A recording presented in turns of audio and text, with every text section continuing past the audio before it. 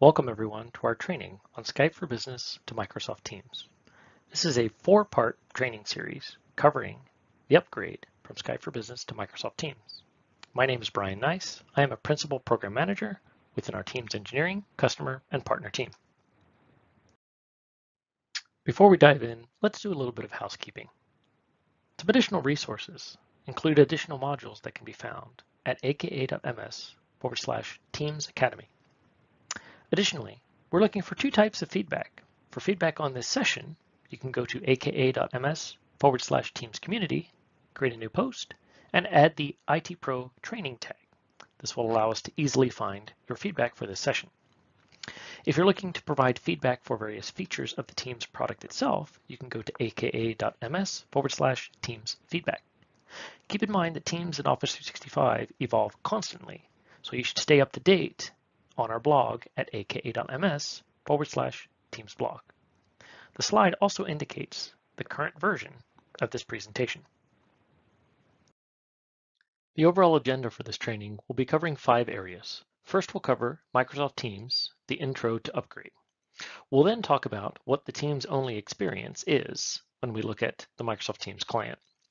From there, we'll talk about how we plan the paths to Microsoft Teams. We'll then take a little deep dive into managing coexistence and interoperability. And finally, we'll finish with configuring the upgrade from the admin point of view. This training will be broken into four separate trainings. You are currently in part one, Introduction to Upgrade and the Teams Experience.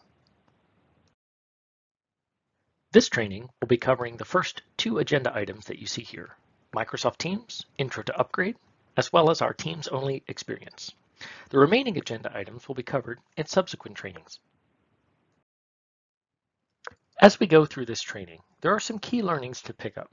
First of which is Teams is in fact the hub for teamwork within Office 365.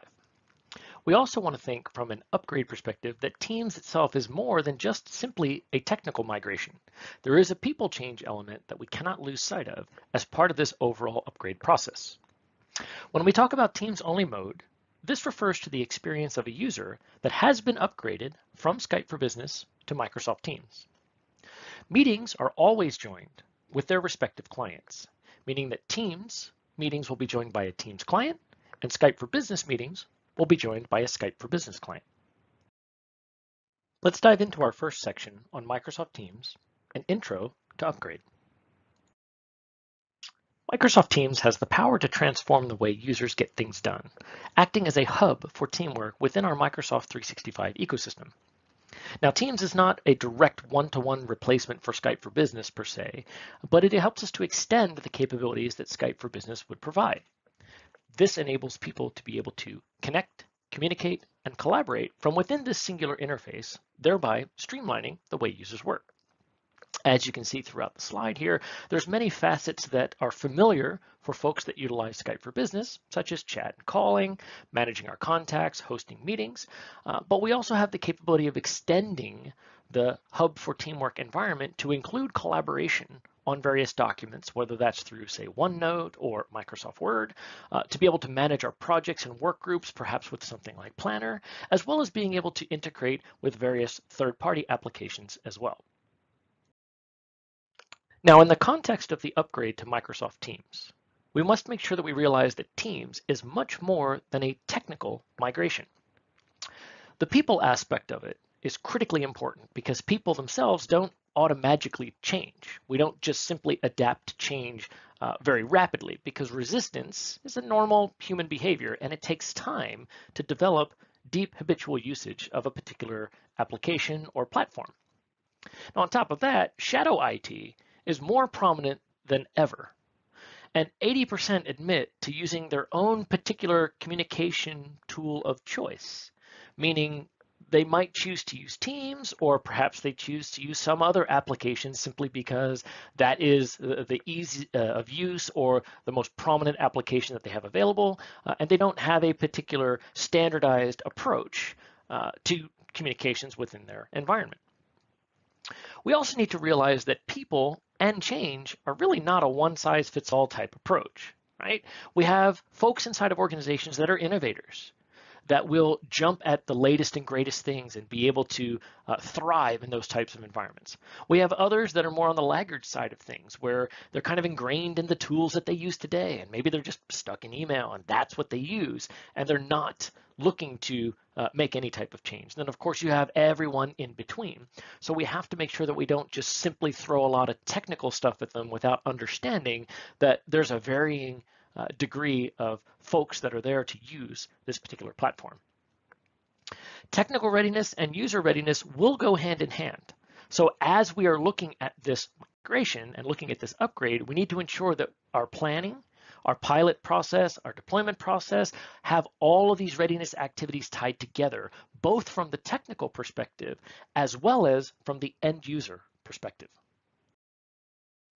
Ensuring that we have a focused effort can help drive sustained success.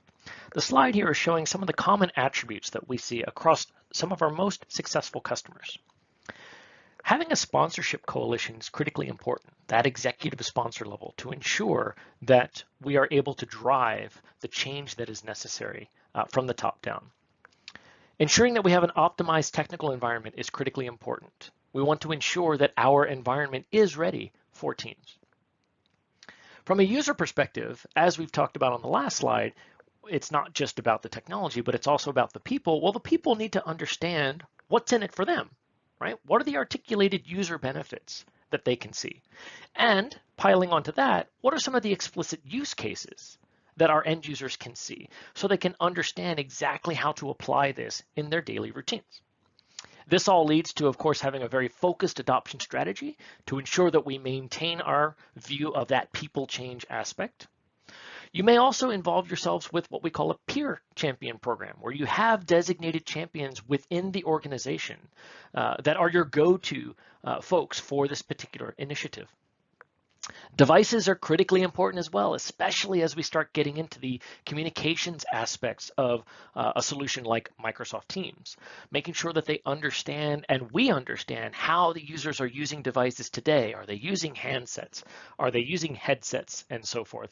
And of course, how do we operationalize all of this. We need to have a clear operational strategy to ensure that we can continue to maintain the service as it's being rolled out throughout the organization.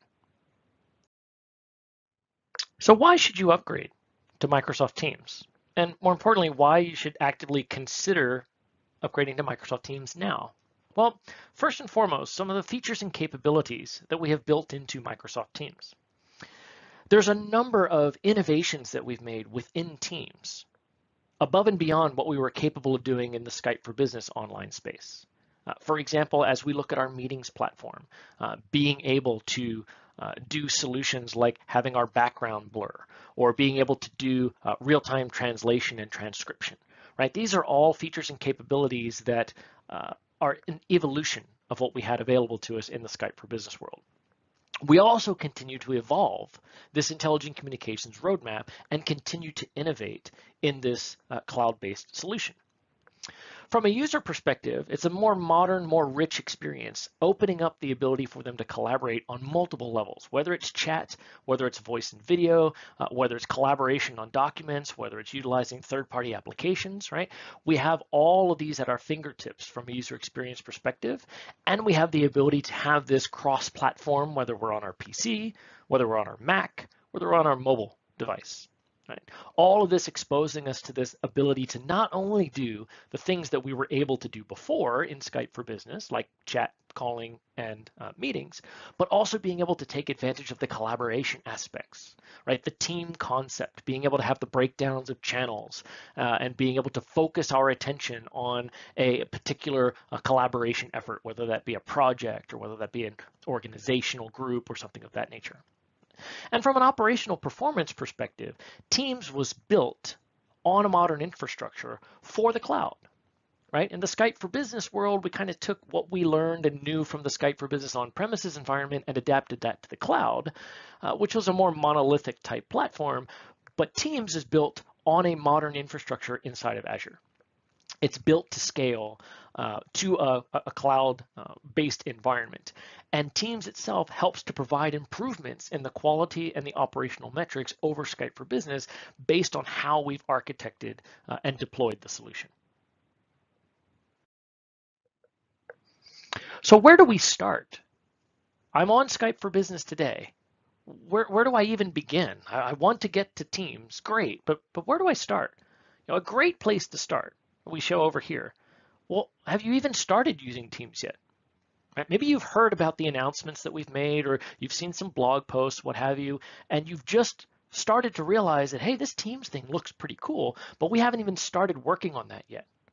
If you haven't started using Teams, you should begin by envisioning what does teamwork look like for your organization?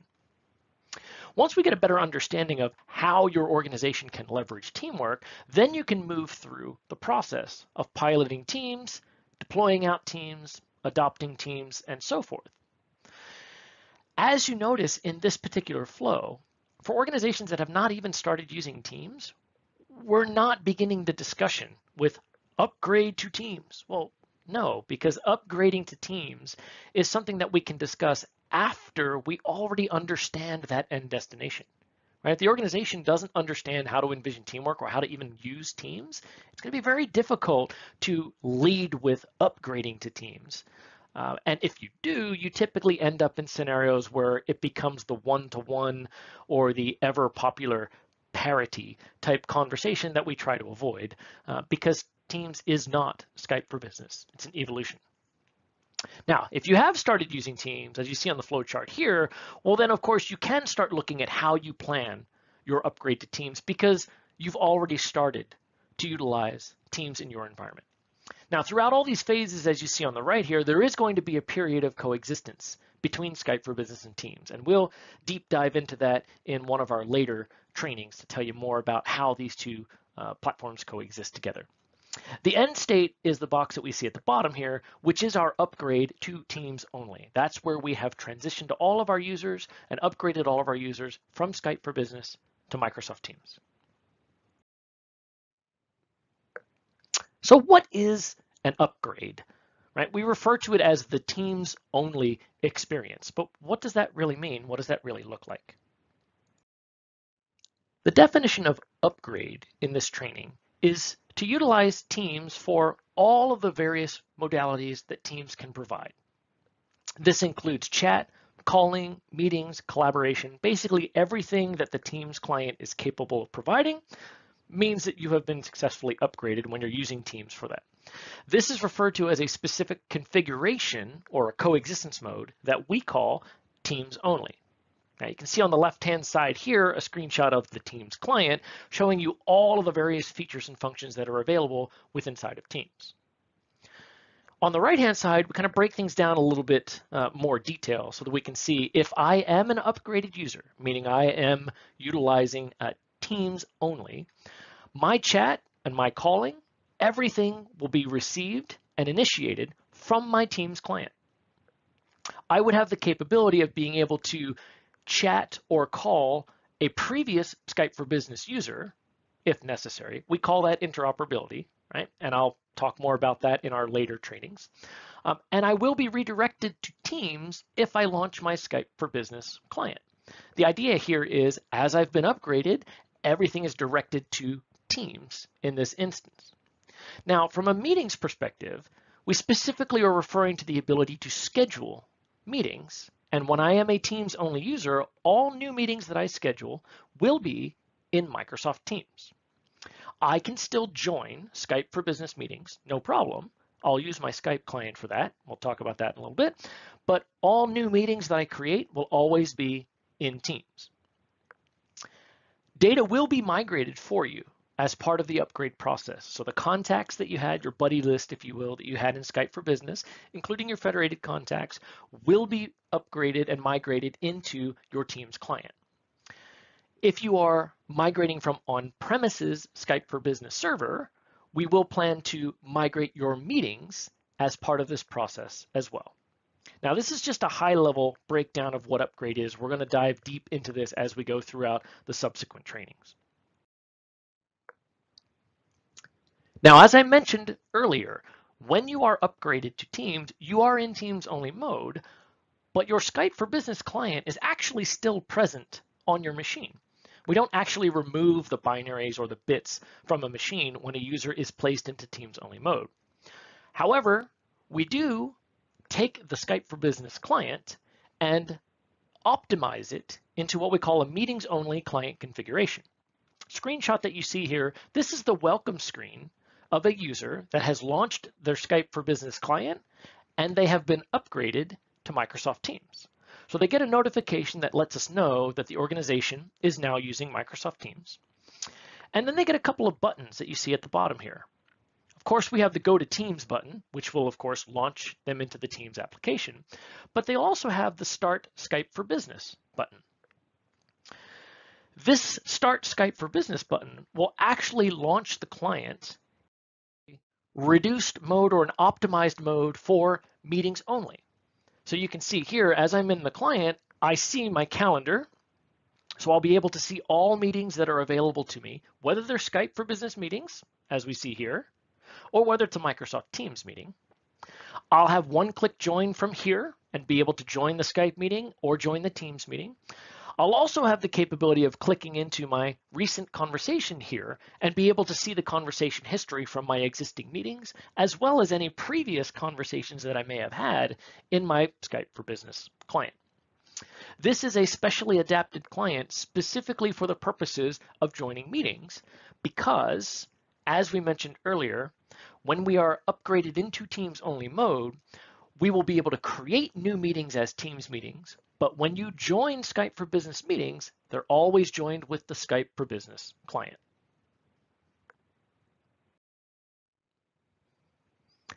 A recap of the meeting scenarios that we discussed earlier. The meeting client must match the service that hosts the meeting. So for example, if it was a Skype for Business meeting, you will use a Skype for Business client to join that meeting. Likewise, if it's a Teams meeting, you will use a Teams client to join that meeting. Now, please note when we use the term client, this is indicative of all the various types of clients that are available for the particular application. So that could be a desktop client, for example, your PC or your Mac. It could be a mobile client, such as iOS or Android. It could be the browser, Edge and Chrome, if you're using Teams, or it could be the Skype meeting app in the browser if you're using uh, Skype for Business. So when we say client, we basically mean any of those types of clients. Regardless of where the user is in their upgrade path, the users can always use either meeting client, whether they've been upgraded or not, right? So the Skype for Business user can always join a Teams meeting with the Teams client. Likewise, a Teams user can always join a Skype for Business meeting with the corresponding Skype for Business client. This is regardless of what coexistence mode has been assigned to the user. Let's take a closer look at the user experiences. If we take a look at the Skype for Business client and what happens to this client during the upgrade experience, you'll see on the left-hand side here, this is our starting point. This is what we call our no upgrade state, right? Or essentially a state where the user is just simply utilizing their Skype for Business client as they do today.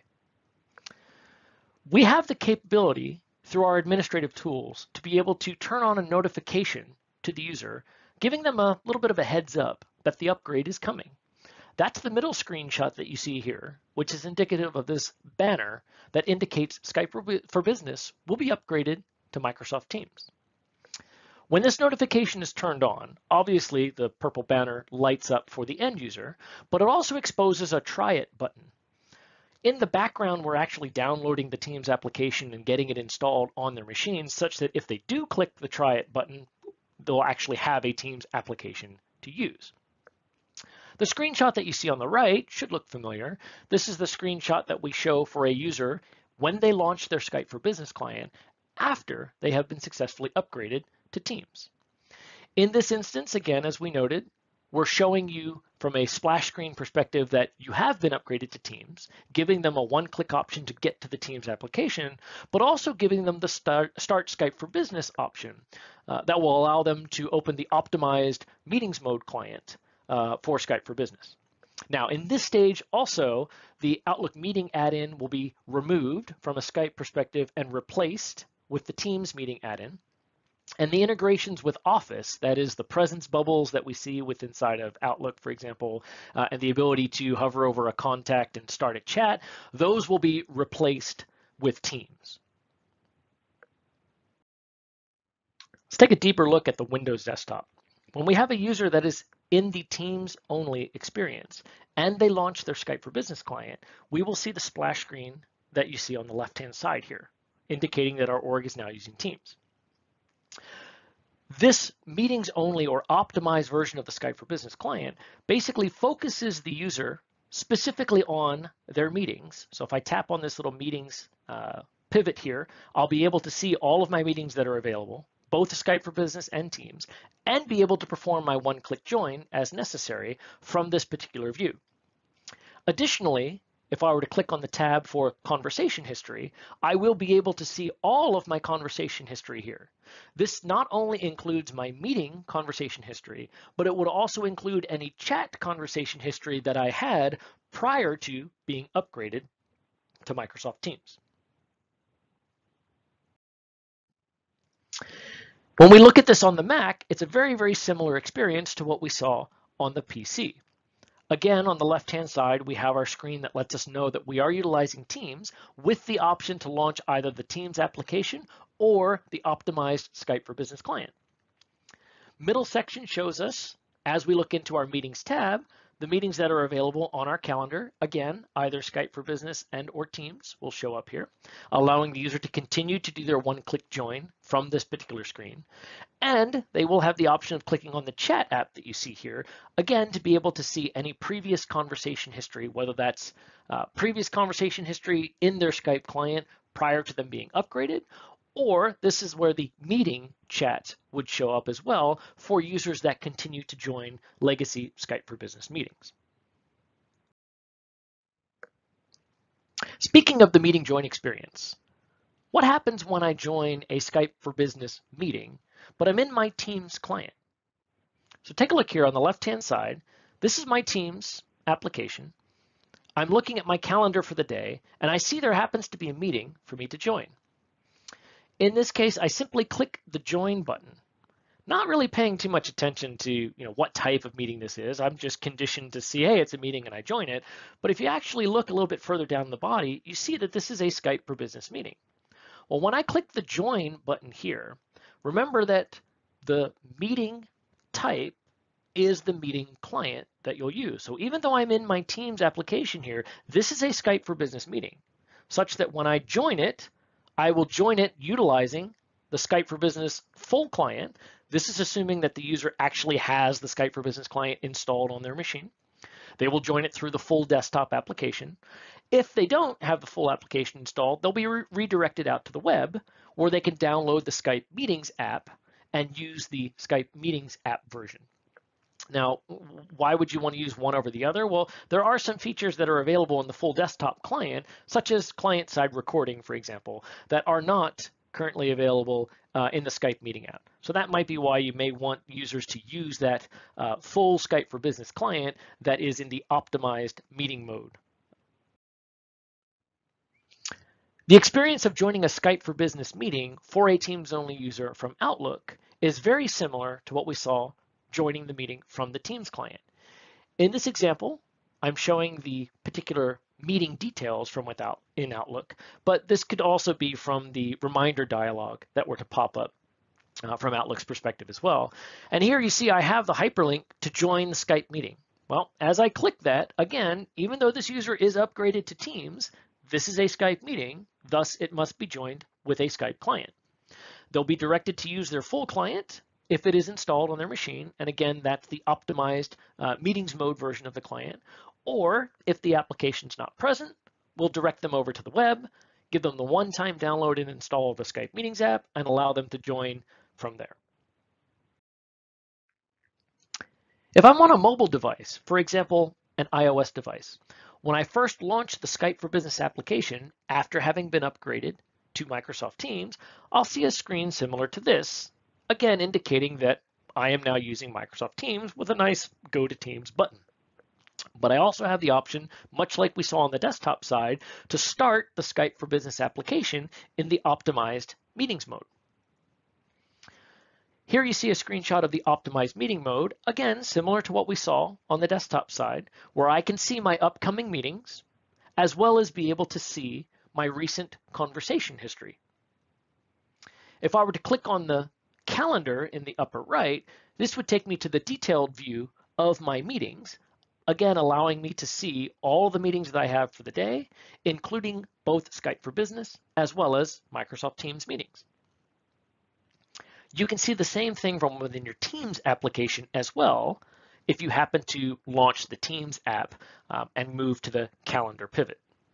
Now from either of these views, I can simply click join, one tap join and away we go. You know, this works the same from Outlook meeting invites or whatever mail client you're using as well. I've omitted that uh, off the slide just for uh, for space purposes, but you will have the one tap join option available to you even on mobile. So if I were to tap either from my Skype client or from my Teams application, the join button, this is a Skype for Business meeting, I will be joined straight into that particular meeting utilizing the Skype for Business mobile app. Now, the advantage here, I am actually connected to the Skype for Business meeting as my authenticated user because I did in fact launch the Skype app. I signed into it and I'm using this optimized meetings mode version of the client. So now it's just business as usual for me inside of the Skype for Business meeting on my mobile application.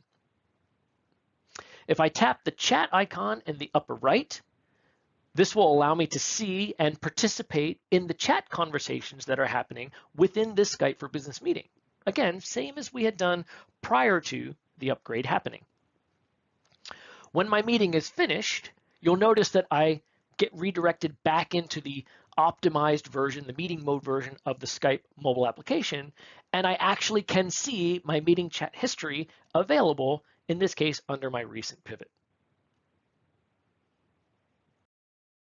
Now, during our upgrade from Skype for Business to Microsoft Teams, we may find ourselves in a situation where we have users utilizing the Teams client that are attempting to communicate with users that are utilizing the Skype for Business client. By definition, this is what we call interoperability or interop for short. And effectively, it allows a user that is using Teams to be able to chat and call a user that is utilizing Skype for Business and vice versa. Now, we will give some visual indicators to let the users know that they are in an interop experience. And that's important because there are some fundamental differences in the way the interop experience works. So let's take an example here. The screenshot that I'm showing is a, a screenshot from a user named Adele, and she is current currently utilizing Teams. Uh, she only has the capability to use Teams for calling and chat. She doesn't have Skype for Business. Um, and she is attempting to chat with Alan DeYoung. And Alan, in this case, only has his Skype for Business client. Alan hasn't yet been provisioned or enabled uh, for Teams. So we have a situation where interoperability will come into play because Alan and Adele would like to be able to chat with each other. Now, looking at Adele's Teams client here, you can actually see uh, some visual indicators that give us clues that we're within an interop conversation. First and foremost, if we look at the top here, we get a, a, text indicator that lets Adele know, okay, you're chatting with Alan, and this person is currently using Skype for Business. As such, some Microsoft Teams features won't be available. Uh, which features would that be? well, if you take a look down here at the bottom, I've actually highlighted the chat window uh, or the chat uh, area where I can type a new message. And what you may notice, if you're familiar with utilizing Teams, is that there's nothing below, no, no uh, messaging extensions, compose extensions, uh, no ability to do emojis or Giphies or stickers or file transfer or any of that. And that's because when we're doing interop uh, from a chat perspective, it is just basic chat, one-to-one -one chat uh, with plain text. So that's one of the first indicators that uh, we have a little bit of a different experience from the Teams side of the house. If we look at this from Alan's perspective, and we bring up Alan's Skype for Business client, right? Here you can see Alan is chatting back and forth to Adele. And you'll notice that Alan gets a visual clue as well, visual indicator, letting him know that Adele is not utilizing Skype for Business. And that should be an, a visual indicator and aligned to your adoption strategies that let the user know uh, there's going to be a slight difference in experience now uh, because I am now chatting with a person that is not utilizing Skype for Business. Now, in addition to doing chat from an interop perspective, we also have the capability of doing a one-to-one or a peer-to-peer call, and that could be an audio call or an audio video call. Uh, same as we saw before, we are going to get some visual indicators in the client. So as you can see here, this is a screenshot of Adele's Teams client. Again, she is a Teams only user. She has uh, now established an audio call with Alan. Alan is using Skype for Business and is indicated properly here uh, in the client that Alan is using Skype for Business. So there are some Teams features that won't be available. And if you look down at the bottom of this screenshot, the little U bar that we have, you'll notice that we don't actually have the um, screen share option available. So if I fire up a little laser pointer here, we've got right here this option normally would be for sharing a screen. That one's currently not available. Uh, we are working to light up that particular feature to allow us to initiate a screen share from Teams to Skype, uh, but we haven't quite finished that work yet. It is something that we are looking to turn out uh, within this calendar year, uh, 2019. But because we have this uh, peer-to-peer -peer call established, if we look at it from the Skype for Business side, you'll see that Alan's Skype for Business client has that same um, informational banner that we saw when we were looking at chat. Uh, letting Alan know that Adele is not using Skype for Business, and if there is a richer experience that's involved, perhaps they could switch to Teams if that's an option, or they could start a Skype meeting. Now, we did mention in the last slide that it wasn't possible to start a desktop share from Teams over to Skype for Business, uh, but it is possible to initiate desktop sharing from Skype for Business to Teams. Uh, and this is done as you can see on the screenshot here. This is a simple chat conversation that Alan is having with Adele. Alan is our uh, Skype for Business user. Adele is our Teams only user. And you can see here as part of this chat, uh, Adele is asking Alan uh, if he could share out his desktop again to you know, walk them through the, the portal uh, uh that he was uh, taking her through a little earlier. Uh, he obliges, says sure, and clicks on his little screen share and he's met with the dialog that indicates he can click here to start a meeting to share the screen with the Teams user. Upon clicking the link to start a meeting, uh, Alan is going to automatically be placed into a Skype for Business meeting, as you can see by the screenshot here. Uh, this is all transparent to Alan. His client just simply uh, automatically builds the meeting uh, and then sends the meeting coordinates over the chat channel to the Teams user which is Adele in this case. Now, in Adele's Teams client, here's a little snippet of her chat conversation, uh, and you can see right here that she's received the chat information. I would like to share my screen. Please click on this link to join the Skype meeting. Uh, this is the meeting that was automatically established when Alan started to share his desktop. And now Adele can simply click on this link uh, automatically launch her Skype for Business client uh, and take her into the meeting like we see here. And this would be the final uh, destination that has this Skype meeting that includes both Adele and Alan. And this is a full Skype for Business meeting. So Alan can now continue to share his desktop here as was requested earlier. Uh, they can also fire up the chat and be able to have their normal chat conversation within this Skype for Business meeting, uh, just as one would expect. To recap the key learnings that we had from this training, Teams is the hub for teamwork within Office 365. In the context of the upgrade, Teams is much more than a technical migration. There's also a people change aspect that is critical to the upgrade process. The Teams only mode refers to the experience of a user that has been upgraded from Skype for Business to Microsoft Teams. And meetings are always joined with their respective clients. So a Teams meeting will be joined with a Teams client, and a Skype for Business meeting will be joined with a Skype for Business client. Be sure to check out the other trainings that are part of this series of the Skype to Teams upgrade. Thank you for attending this session.